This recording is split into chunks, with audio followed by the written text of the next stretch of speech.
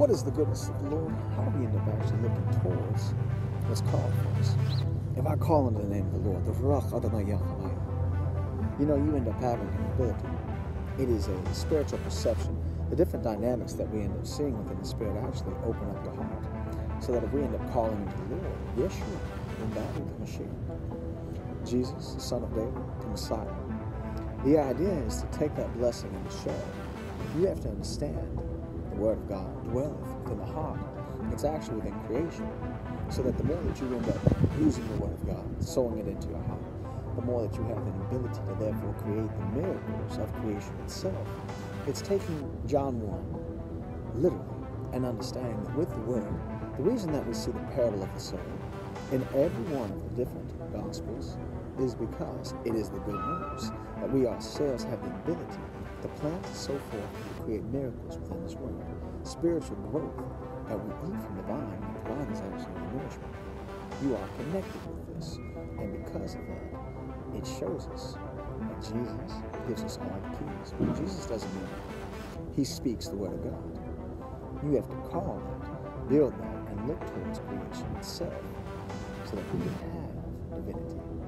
Look towards this and realize that God Himself is therefore edifying, and building you and giving you love. Why it is divinity, but it's also that ability to share the grace of God. If we look towards Jesus, Yeshua, literally salvation, then we end up seeing exactly how God teaches us to have perseverance. Why? It's fidelity and grace. And that grace itself is therefore then able to change and to give us a new perception of the Creator.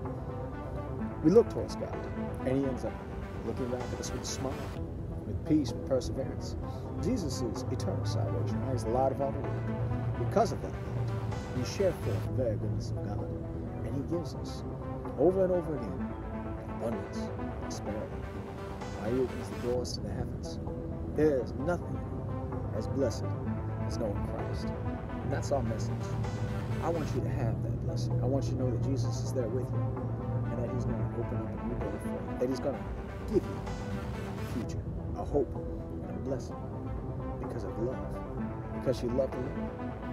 Take that love, share it with everyone that you know. Let them know that Jesus saved you, that he forgave you for your sins, and that because of that blessing, he's opening a new door. He's opening the gates to paradise. That's the blessing. Call him. Believe he's Lord in your heart. Profess him and receive him. Go in the door and create a future for you, for your family, for this nation. God bless. God bless America. And I'll see you.